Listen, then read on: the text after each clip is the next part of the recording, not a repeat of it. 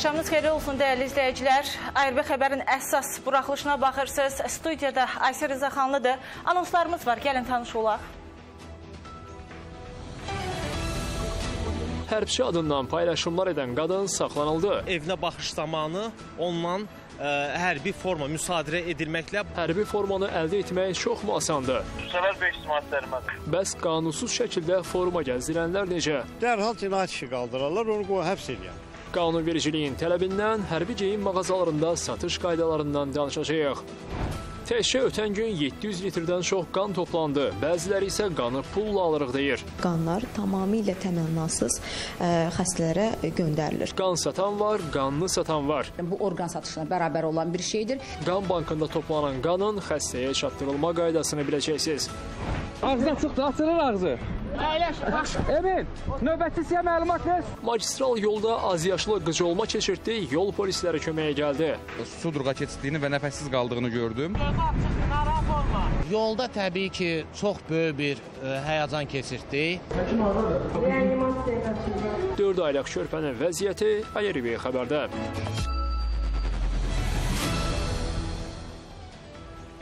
Bəli, bütün bunlar haqda daha ətraflı sonra biləcəksiniz. Türkiyəli həmkarı Rəcəb Tayyib Ərdoğanın dəvəti ilə Türkiyəyə işgüzar səfərə yollanan Prezident İlham Əliyev və birinci xanım Mehriban Əliyeva Konyada keçirilən 5-ci İslam həmrəyliyi oyunlarında ölkəmizi təmsil edən idmançılarla görüşüblər. Dövlət başçısı idmançılarımızın bu dəfədə gözəl nəticə göstərəcəklərinə əmin olduğunu bildirib. Deyib ki, artıq birinci qızıl medalımız var. Bu gözəl nəticə digər idmançılar üçün də gözəl bir stimul olacaq. İlk dəfə olaraq Azərbaycan idmançıları İslam həmrəyliyi oyunlarında qalib ölkəni təmsil edəcəklər. Bu hamımız üçün böyük qürurverici hadisədir. Prezident İlham Əliyev Türkiyənin Konya şəhərində keçirilən 5-ci İslam həmrəyliyi oyunlarında Azərbaycanı təmsil edən idmançılarla görüşdə belə deyib. Vurğulayıb ki, döyüş meydanlarında əldə edilən qələbə idman yarışlarında da özünü əks etdirəcək. Azərbaycan güclü idman ölkəsi kimi bugün dünyada tanınır və bizim qələbələrimiz həm olimpiya, dünya, Avropa çempionatlarında artıq adi hala çevrilir. Və Azərbaycan azarkeşləri də buna bir növ öyrəşiblər. Bu dəfə də əminəm ki, idmançılarımız gözəl nəticə göstərəcəklər və artıq birinci qızıl medalımız var. Komandanı bu münasibətlə təbrik etmək istəyirəm.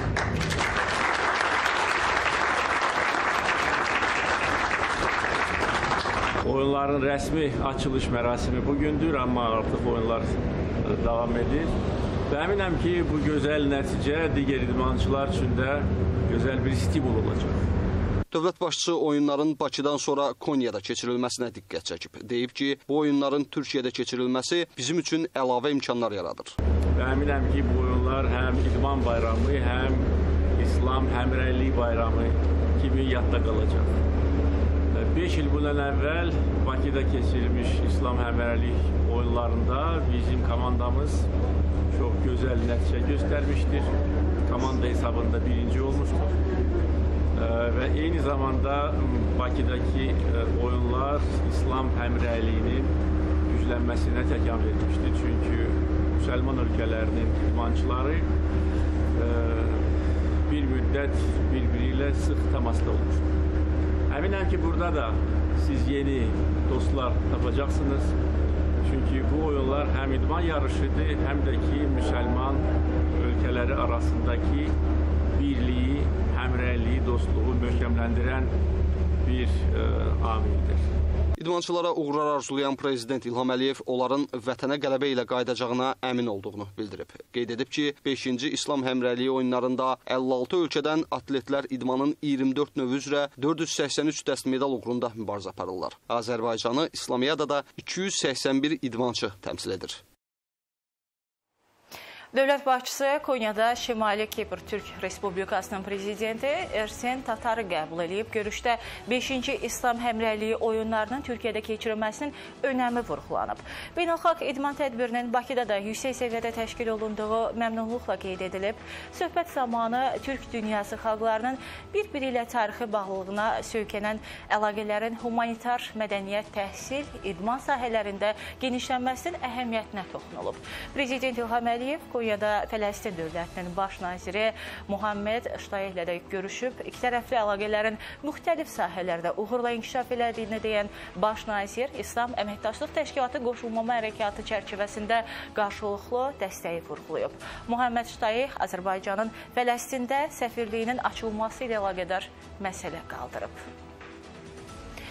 Zəngəzur dəhlizi Ermənistanın öhdəliklərindən biridir. Xarici İşlər naziri Ceyhun Bayramov Ankarada Türkiyə kütləvi informasiya vasitələrinə müsahibəsində bu məsələdə Türkiyənin vasitəçiliyinə də toxunub. Nazir Böyük Britaniyadakı səfirliyimizə edilən hücumla bağlı da açıqlama verib. Böyük Britaniyadakı səfirliyimizə avqustun 4-də baş verən hücumdan sonra bizim krallıq hökumətindən ciddi gözləntilərimiz var. Bunu Xarici İşlər naziri Ceyhun Bayramov Türkiyə mətbuatına müsahibəsində bildirib. Deyib ki, hazırda müvafiq orqanlar baş verən hadisənin araşdırılması ilə çox ciddi məşğul olurlar. İlk olaraq Azərbaycan tərəfinə belə bir halların gələcəkdə təkrarlanmamasına dair çox ciddi zəmanətlər və qarantilər verilməlidir. Azərbaycanda olan bütün diplomatik missiyaların və bütün diplomatların təhlükəsizlik ən yüksək səviyyədə qorunur və biz aynı yanaşmana da Birləşmiş Krallıqdan təbii ki, bəkləyirik. Ceyhun Bayramov Viyana konvensiyasına əsasən hadisənin hərtərəfli araşdırılması, diplomatik missiyaların və diplomatların təhlükəsizliyinin toxunulmazlığının qorunmasının müvafiq ölkələrin birbaşa məsuliyyəti olduğunu vurğulayıb. Azərbaycanın baş diplomatı Ermənistan tərəfinin Zəngəzur dəhlizi ilə bağlı öhdəliyinin icrasını ləngitməsi barədə fikirlərini də bölüşüb. Ermənistan ərazisindən keçmədən Araz çayı üzərindən İran ərazisi vasitəsilə e, deməli İran ərazisindən keçərək sonradan yenidən köprü vasitəsilə Naxçıvan ərazisinə keçmək kimi də alternativi vardır. Xarici İşlər Naziri Türkiyə və Azərbaycan arasındakı etibarlı qardaşlıq əlaqələrinin bütövlükdə xalqımıza sevinç bəxş etdiyini sözlərinə əlavə edib. Nazir müsahibəsində Ermənistan tərəfinin Türkiyənin də vasitəçiliyi ilə əldə olunan razılaşmalara əməl etməsinin vacibliyini önə çəkib. Ən ciddi məsələ Ermənistan hərbi e, qüvvələrinin tam olaraq Qarabağ bölgəsindən çıxarılmasıdır. Biz bunu Ermənistandan e, tələb edirik. Azərbaycanın batı bölgələri ilə Naxçıvanı birləşdirən e, yoldan gedir. Bu da yenə də üç tərəfli mutabaqatda olan Ermənistanın öhdəliklərindən biridir. Ceyhun Bayramov Türkiyə və Azərbaycan arasındakı etibarlı qardaşlıq əlaqələrinin bütövlükdə xalqımıza sevinç bəxş etdiyini sözlərinə əlavə edib. Xatırladıb ki, Şuşa bəyannaməsi ilə bu əlaqələr müttəfiqlik səviyyəsinə yüksəlib.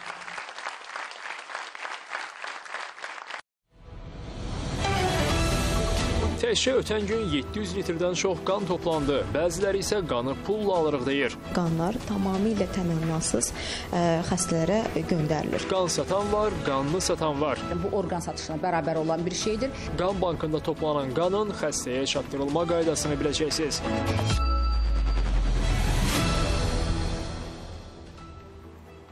ARB xəbərə baxırsınız. Laçın şəhəri və Zabux kəndini tərk eləməli olan ermənilər sülh məramlıların fəaliyyətini pisləməyə, ağız dolusu narazılıqlara başlayıblar. Və bu narazılıq yalnız sadə erməninin dilində yox, Ermənistan hakimiyyətində də açıq sezilir. Bəzən elə hiss yaranır ki, sanki İrəvan cürətini toplayıb, böyük qardaş dediyi Rusiyaya itaətsizliyi göstərəcək. İndi Ermənistanda böyük Sabirin kəlamı işləyir. Harda rus görürəm, qorxuram. Xüsusilə hökumət yönümlü mediada rus bir obraz olaraq Avropada təlqin edildiyi kimi əcaib bir varlıq kimi təqdim olunur. Son günlər İrəvanla Moskva arasında istər açıq, istərsə də bağlı qapılar arxasında keçirilən diplomatik təmaslarda ermənilərin ruslara xeyli sualı ortaya çıxıb. Bütün ermənilərin dilində gəzən ana sualı isə eynidir. Ruslar bizim nəyimizə lazımdır? İndi İrəvan sözünün etimologiyasını belə erməniləşdirmək istəyənlərdə vaxtilə Çar Rusiyasının, sonra Sovet İttifaqının arxivlərində həqiqi tarixi saxtalaşdırıb uydurma erməni tarixini dünyaya sırıyanda Ruslar bizim nəyimizə lazımdır sualı yox idi. Maraqlısı odur ki, ermənilər kökü hələ 18-ci əsrə söykənən erməni-rus işbirliyindəki əsl mahiyyəti indi öyrənməyə can atır. Çar Pyotr dövründən indiyədək ermənilər sürü kimi arandan yaylağa, yaylaqdan qışlağa köçürülüblər. Bölgədəki müsəlman çoxluqlar arasında Rusiya üçün təhlükəsizlik yastığı rol oynayan ermənilər anlamadılar ki, onlara vəd olunan böyük Ermənistan əslində utopiyadır. Onlar özlərini buna inandırdılar. Postmüharibə dövründə diqqəti çəkən əsas məqam həm də ermənilərin Rusiyadan qaçma meyllərinin sürətlənməsidir. Elə rusun dilində desək, xaylar sən demə neçə vaxtı xam xəyallardaymış.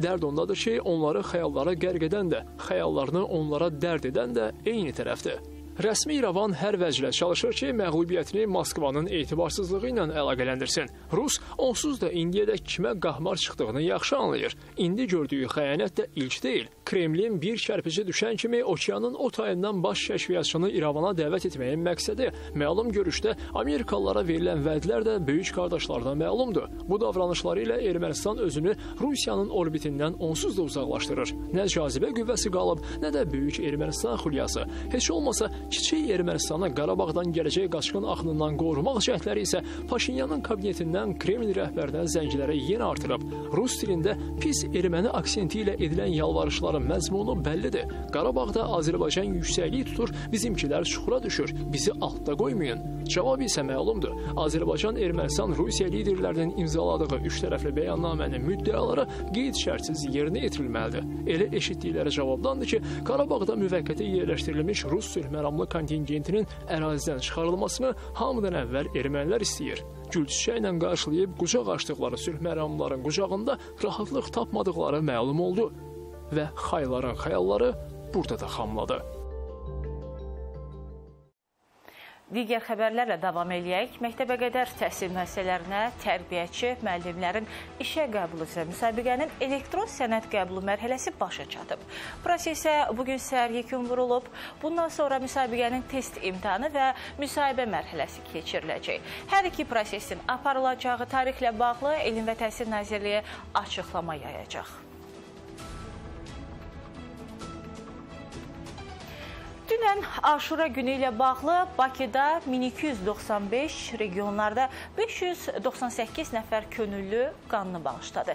Belə desək, yüzlərlə insan savab qazandı. Yüzlərlə talasemiyalı, leykemiyalı və bir çox qan xəstəliyindən əziyyət çəkənlərsə nə vaxtsa təmənnasız verilən bu qandan şəfa tapacaqlar.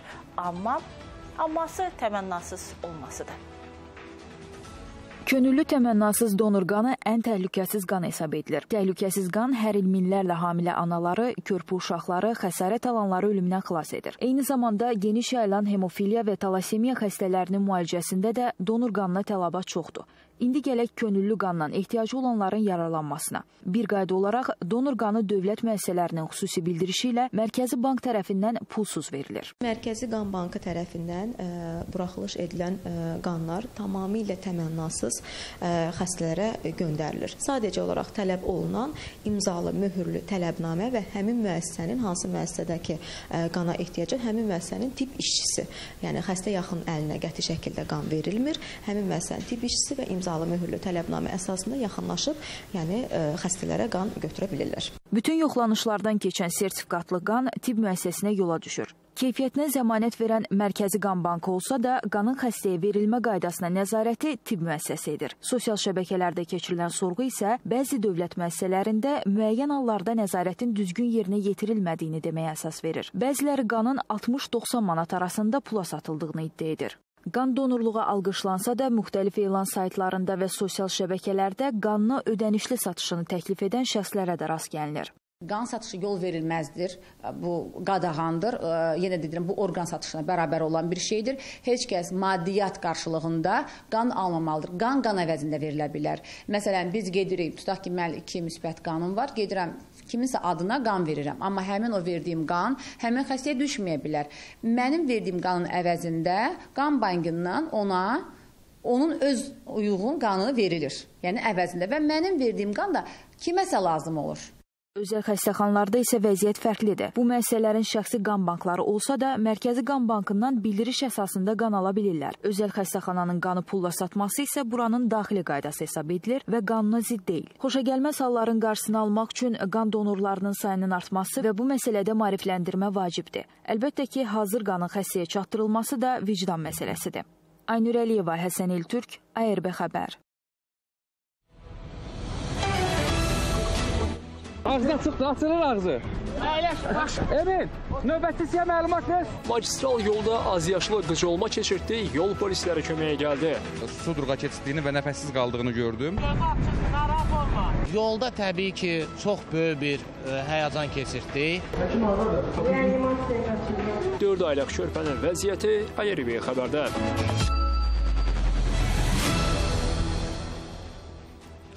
Bəli, bu haqda daha ətraflı az sonra biləcəksiniz. Biz isə qaldığımız yerdən davam eləyək. Ağdam rayon mərkəzi xəstəxanasında tibb işçiləri arasında kütləvi zəhərlənmə qeydə alınıb. Hadisəyə səbəb tibb müəssisəsinin poliklinika şöbəsində dezinfeksiya işlərinin aparılması olub. İlkin məlumata görə şöbədə çalışan 12 nəfər dezinfeksiya tədbirləri zamanı istifadə edilən maddədən zəhərlənib. Onlar hazırda xəstəxanada müalicə olunur. Faktla bağlı rayon prokurorluğunda araşdırma aparılır. Bu gün Ağdam rayon mərkəzi xəstəxanasının 12 əməkdaşı zəhərlənmə diaqnozu ilə xəstəxananın qəbul şöbəsinə yerləşdirilib. Onların hər birinin vəziyyəti hazırda stabil olaraq qiymətləndirilir, müalicələri davam etdirilir və vəziyyətləri təbib rəhbərliyinin nəzarətindədir. Zəhərlənmənin səbəbi isə hazırda araşdırılır. Və avqustun 6-sında İsmayılı rayonu ərazisində Babadağ dağında həlak olduğu bildirilən Məmmədov Mübariz Əliağa oğlunun meyiti tapılaraq adiyyatı üzrə təhvil verilib. Bu barədə Fövqəladə Hallar Nazirliyindən bildirilib. Qeyd edək ki, həmin gün Babadağda köməksiz vəziyyətdə qaldığı bildirilən şəxslərdən 3 nəfəri Xudaverdiyev Niyyət Vüqaroğlu, Xudaverdiyev Ağa Aqiloğlu və qardaşı Xudaverdiyev Emil Aqiloğlu sağ tapılaraq adiyyatı üzrə təhvil veriliblər. Xaçmaz sakini 20 kiloqram narkotik vasitə ilə tutulub. Rayon polis şöbəsinin əməkdaşlarının keçirdiyi əməliyyatda saxlanılan rayon sakini Samir Allahquliyevin yaşadığı evdən 20 kiloqramdan artıq marixuana və 20 yaş vəziyyətdə çətənə bitkisi aşkar edilib.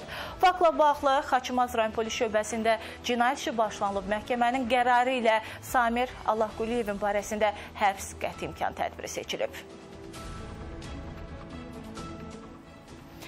Bakı-Quba yolunda avtomobildə qıcolma keçirən körpənin köməyinə Baş Dövlət Yol Polisi İdarəsi Saray Yol Patrul Xidməti alayının birinci tağımının əməkdaşları çatıb. Hadisə Amban polis əməkdaşlarının sinə kamerasına düşüb. Körpənin həyatını xilas edən Yol Patrul Xidmətinin iki əməkdaşı mikrofonumuza baş verənləri danışıb. Qapını aç, nə olub, hanı uşaq? Bu qadın nəsə qalır. Otur, otur. Otur, otur. Ağzına çıxdı, açılır ağzı. Hə? Nəfəs alır uşaq. Ay xanım, əyləş. Sizə nə qabaq elə, sizə nə qabaq elə. Emin, növbətçisiyə məlumat ver. Axşam saatları idi. Stasionar posta 706 sayılı stasionar posta xidmət apararkən vətəndaş yaxınlaşıb bizə övladının ə, vəziyyətinin pis olduğunu, sudurqa keçdiyini və həyəcandan nəqliyyat vasitəsini idarə edə bilmədiyini söyləyərək bizdən kömək istədi. Dərhal ə, reaksiya verərək ə, az yaşlıya yaxınlaşıb onun ə, vəziyyəti ilə bağlı ilkin məlumat əldə etdikdə ə, sudurqa keçdiyini və nəfəssiz qaldığını gördüm. Ə, avtomobil patrul avtomobilinə ə, əyləşdirərək valideynlərini də ə, Qarayev xəstəxanasında çatdırdıq. Yaxşı, mənə bax, öz-özü rahat hiss eləyim. Ay xanım, gözü açıqdır, narahat olma. Yolda təbii ki, çox böyük bir ə, həyəcan keçirtdik. Düzdür, həmən şeylər, həmən hadisələr çox baş verir. Amma həmən ərafədə keçirdiyimiz həyəcan həm uşağın pis olmağı, 4 aylıq körpədir, həm valideynlərin özünü itirməyi. Bir anlıq orada elə bir şey baş verdi ki, hətta ə, anası körpəsini əlində tuta-tuta ürəyi getmək üzrə oldu. Bizdən xahiş elədilər ki, dərhal pəncərəni açaq. Orada o valideynlərdən savayı ə, uşağın nənəsi də oradaydı. O da böyük bir həyəcan keçirtdi. Biz yolda çalışırdıq ki, həm valideynləri sakitləşdirək, valideynlərə söyləyərək ki, uşağın gözü açıqdır, narahat olmayın, hər şey yaxşı olacaq. Həm də diqqətimiz yolda olsun ki, sağ-salamat xəstəxanaya çataq. Ya ehtiyatla, tələsmə, tələsmə. Tələsmə, ver mənə, ver mənə, ver mənə. Sıxma, sıxma, özünü itirmə. olma. Kamran maşına bir dənə bax.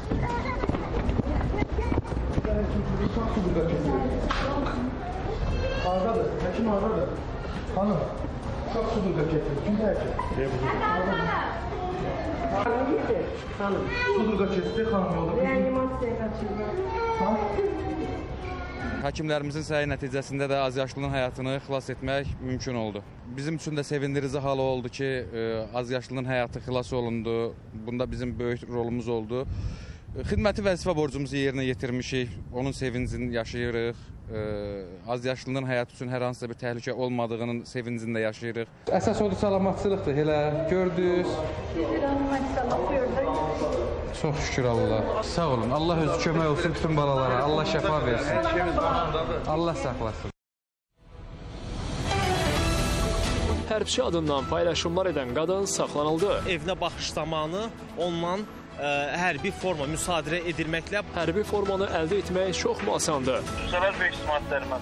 Bəs qanunsuz şəkildə forma gəzdirənlər necə? Dərhal cinayət işi qaldırarlar, onu qoy həbs eləyər.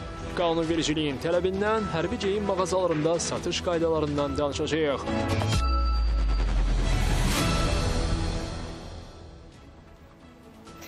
Bugün Səyyar Asan Xidmət Zəngilanın Ağalı kəndində vətəndaşlara xidmət göstərib, sakinlərə şəxsiyyət vəsiqələri, ümumi vətəndaş pasportlarının verilməsi və dəyişdirilməsi, sürücülük vəsiqələrinin dəyişdirilməsi, məhkumluq barədə arayışların verilməsi təşkil olunub. ARB televiziyasının əməkdaşları da Zəngilanda göstərilən xidmətlərlə elə yerindəcə tanış olublar. Salam, hər vaxtınız xeyir. Bizim kəndimizə xoş gəlmisiniz. Səyyar Asan xidmətin növbəti dayanacağı Zəngilanın Ağalı kəndidir. Bu xidmət sayəsində Ağalı sakinləri artıq dövlət xidmətlərindən rahat və yerindəcə yararlana biləcəklər. Baş barmaqlarınızı qoyun şüşənin üstünə.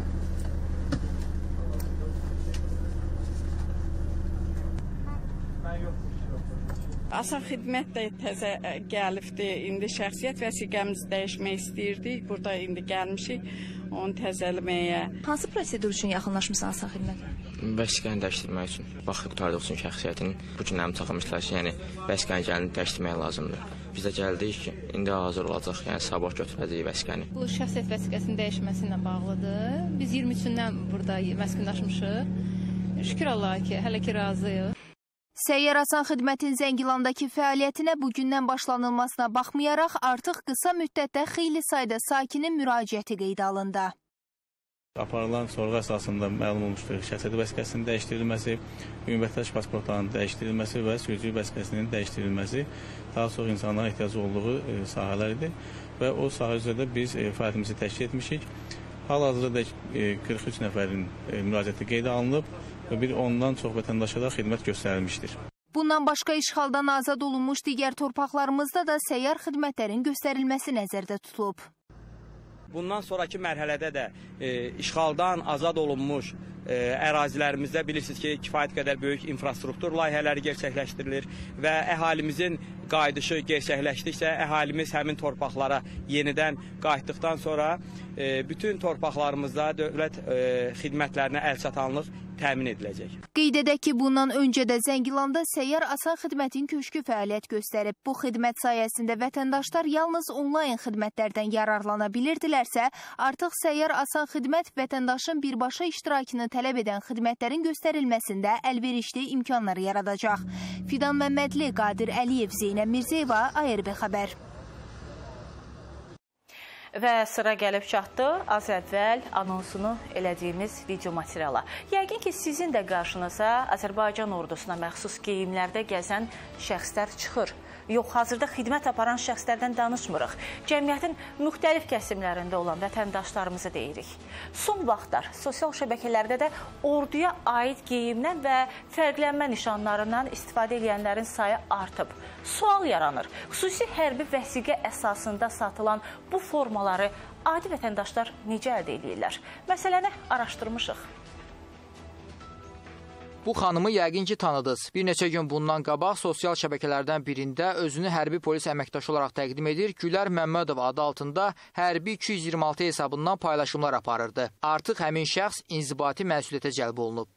Salyan rayon polis şöbəsinin əməkdaşları tərəfindən ə, müəyyən olunub və ə, evinə baxış zamanı ondan ə, hərbi forma müsadirə edilməklə barəsində İnzibati Xətalar Məcəlləsinin 534-cü maddəsinə uyğun olaraq protokol tərtib olunub və baxılması üçün aidiyyət üzrə məhkəməyə göndərilib. Məlumdur ki, ölkədə müxtəlif ordu qüvvələrinə məxsus hərbi forma satış edən onlarla mağaza var. Burada alıcılara formalarla yanaşı paqonlar, şevronlar və digər hərbi ləvazimatlar təklif olunur. Sual yaranır, orduya heç bir aidiyyəti olmayan şəxslər hərbi forma və ləvazimatları necə əldə edirlər? Hərbisisən, yoxsa mülki? Yox, yox, mülki şəxsən. Mülki ancaq forma vəsiqə ilə satılır da qardaş, birinci satılır, hərbisi vəsiqəsi ilə. Qazısansa qaziyə verilir, bir də hərbisiyə, mülkiyə verilmir. Mülki ancaq batinkadır, könnəydir, ayrı-ayrı şalvardır, belə verilir, amma dərs yox. Bəli, bəli, tutsalar 500 manat dərmədir. Neçəyədir qiymətlər neçədən başlayır? 50 manata var, 70 manata var. Forma. Paqon falan, falan da ala bilirəm, yoxsa onlar yoxdur, onlar üçün xüsusi vəsiqə lazım. Paqon olmaz da, paqon olmaz. Şəhərdaxili kiçik hərbi mağazalarda forma və ləvazimatlar satılan zaman hərbi sənəd tələb olunsa da, iri ticarət mərkəzlərində bu cür malların satışını pərakəndə aparanlar var. Satıcılar da bunu təsdiqləyir. Bundan başqa ordudan təxris olunan şəxslərin geyimlərindən sonradan istifadə edənlər də olur. Bütün bunları nəzərə alan Qarabağ müharibəsinin iştirakçısı Rey Kərimoğlu deyir ki, məsələyə nəzarət gücləndirilməlidir. Qanun da tələb edir ki, vətəndaşların, eləcə də ordudan təxris olunan hərbiçilərin heç də hamısı mülki həyatda sözgedən geyimlərdən istifadə edə bilməz. Siz küçədə bir adamın polis paltarı geyinib, polisdə olmayan adam gəzən görə bilərsinizmi? Yarımçıq, papaq açıq, nə bilim, ə, ayaqda krasovka, yəni görə bilərsinizmi saqqalda polis? Görə bilmərsin. Çünki bu yol verilməzdir. Və yaxud da ki, DTX əməkdaşını və yaxud da ki, prokurorluğa bu dərhal cinayət işi qaldırarlar, onu qoy həbs eləyən. Amma nədənsə bu hərbi mundirlə, hərbi geyimlə bağlı bu cür davranışı biz illərdir görmürük. Qeyd edək ki, müxtəlif hüquq mühafizə orqanlarının, eləcə də Müdafiə Nazirliyinə məxsus geyim nümunələri və fərqləndirici nişanlardan istifadə etməklə vəzifə səlahiyyətlərdən sui-istifadə cinayət əməli sayılır. Elnur Abdurrahmanlı, Cavad Cəfərov, ARB xəbər. Və sonda isə maraqlı bir xəbəri diqqətinizə çatdıracağam. Amerika Birləşmiş Ştatları prezidenti Joe Bidenin davranışları yenə gündəm olub. Bu dəfə Ağ Ev rəhbəri pencəyini sərbəst geyinə bilməyib. Kentucky səfərindən qayıdan Biden helikopterdən endikdən sonra əvvəlcə pencəyini geyinmək üçün həyat yoldaşından kömək istəyir. Ardınca isə eynəyini əlindən yerə salır Qeyd edək ki, bir qədər əvvəl yerli mətbuat Joe Bidenin Alzheimer xəstəliyindən əziyyət çəkdiyi barədə iddia irəli sürüb.